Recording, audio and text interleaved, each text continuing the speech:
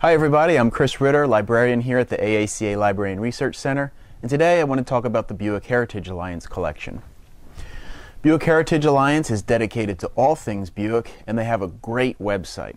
On that website, you'll find a fantastic digital library, but their physical archives are housed right here in Hershey.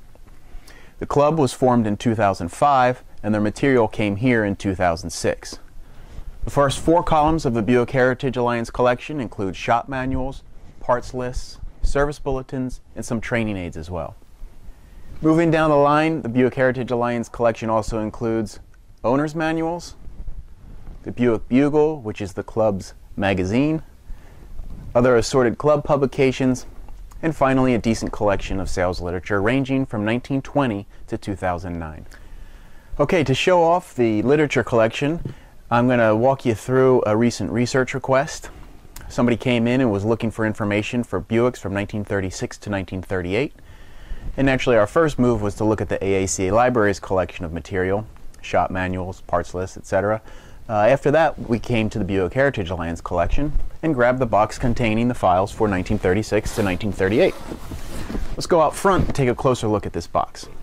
Okay, as we take a closer look at this box of literature, we can see that inside the box, each file is labeled for specific years. Within a file, material is housed in a protective mylar sleeve or envelope. But our interest right now is the 1936 to 1938 file, and we'll take a close look at it right now.